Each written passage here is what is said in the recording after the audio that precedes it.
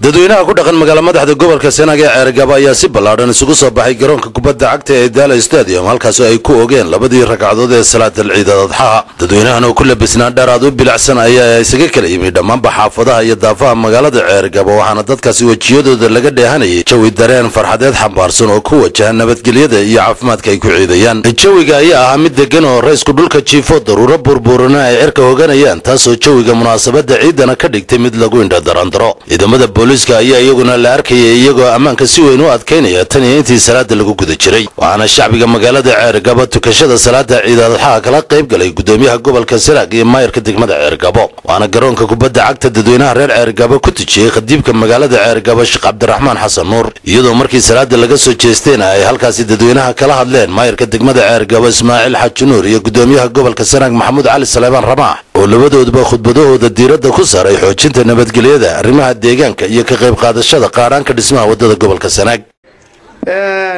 Dhinaca nabadgelyada in qof waliba askari ka noqdo oo aynu waxaynu ku noolnahay waa nabadgelyo. Haddii nabadgelyo la waayana waxba jiri maayaan.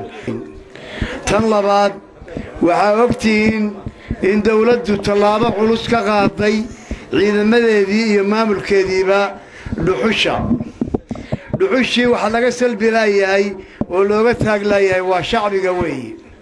Arrintaa dhibaato culus baa ka iman doonta in badan baa loo digay oo dadka lala hadlay dadkii dhag u dhigi maayo weli halkoodii bay ka wadaan si dad badan baa caadaystay.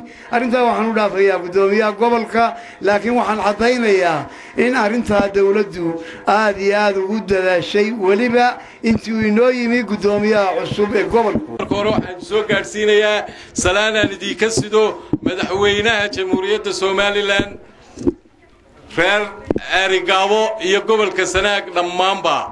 Salaantaa dabadeed waxaa kaloo aan inoo rajaynaynaa ama ilaahay ka baryaynaa in ilaahay sanadka sanadkiisa barwaaqayna gaadhsiiyo. Ilaalintii deegaanka ama la dagaalanka dhuxusha iyo xaalufinta boqolkiiba toddobaatan waan ku guulaysanay. Alxamdulilaahi rabbilcaalamiin maanta waxaan idiin sheegayaa gaadiidka lagu qabto inaannu la wareegayno. Ninowna ha noogu iman ninowna ha naga baryin ninowna gaadhigaaga ha soo gelinin. Wixii aynu ballan qaadnay waa inaynu fulinnaa ee waddadiia meel fiican bay maraysaa. Fayskii saddexaad ayaa bilaabmaya waddadii. Waxaa laydinka doonayaa inaynu culays badan isa saarno. Shacbiga ku dhaqan magaalada ceergabo ayaa iyaguna si weyn isugu hambalyeynayay munaasabadda ciidal adxaa wararka kale ee naga soo gaadhaya degmooyinka gobolka sanaag sida garadag ceelaf weyn huluul fiqiful iyo darar weyne xiis iyo maydh iyo gudmo biyocas ayaa iyaguna sheegaya in dhammaanba deegaanada si jawi nabadgelyo munaasabadda ciidda lagaga ciiday. Waa maxamuud maxamed xasan saraaf ceergabo